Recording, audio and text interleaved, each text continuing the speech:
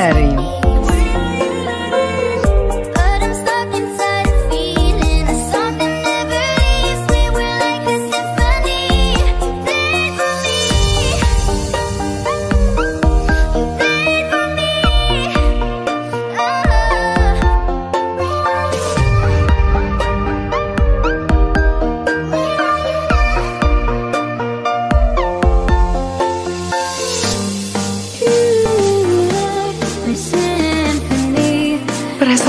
जैसे कोई अपना हो, तुम्हें वो अपना लगता है?